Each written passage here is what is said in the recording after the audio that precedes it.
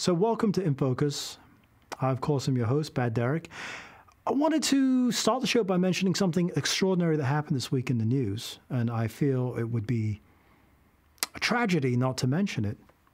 This week, former President Barack Obama came out and admitted, admitted on national television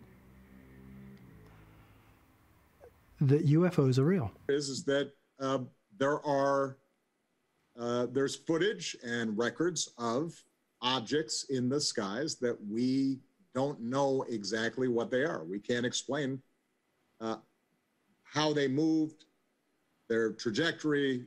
Uh, they, they, did not have um, an easily explainable pattern.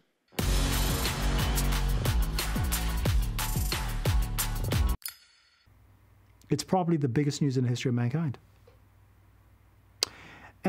I think in many ways that people that had come out earlier in the past and admitted to having seen something, to admitted to having experienced something, in many cases losing their jobs, losing their positions, suffering real financial damage and social damage, losing their families.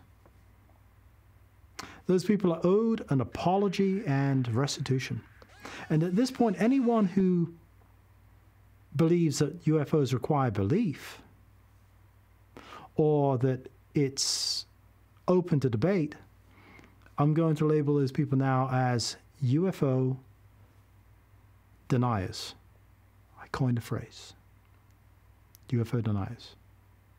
And with that, I'm going to speak quickly about a few other things that are important. One is the camera comparisons I recently did which compared the red Komodo to the Sony a7S III. For those that are wondering, camera A was the Sony a7S III, and that may sound unusual because the Sony a7S III, of course, is the low light monster. In, in the performance, it didn't look very low light monster. It, in fact, looked to be not that great in low light because it was noisy. Let me preface that by saying I did shoot it at 2000 ISO. I think in retrospect, if I'd bumped it up to 12,800, it would have kicked in the automatic um, gain bump. And also, it would have kicked in the additional noise reduction in camera. So it would have given the appearance of a clearer, clearer cleaner image. Um, that and the other thing I might have done was to shoot in S-Log 3 as opposed to S-Log 2. But given that the footage, the scenery, the, the setting didn't seem particularly low light to me, I chose to shoot in S-Log 2.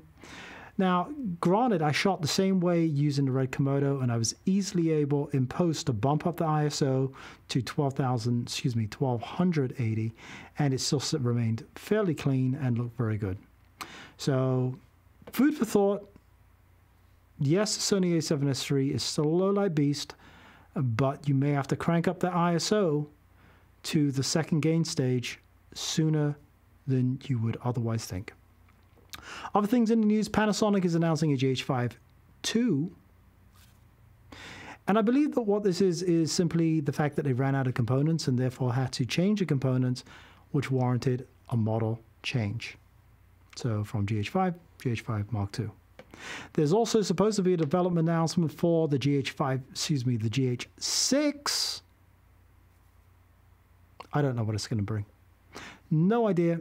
Everything is speculation, so I'm not going to go down that road, but I will be watching eagerly to see what the camera brings. And with that, I'll end this brief episode of In Focus. If you've commented before, you know that I love to respond to those. So please comment, like, and share. And I will see you next time.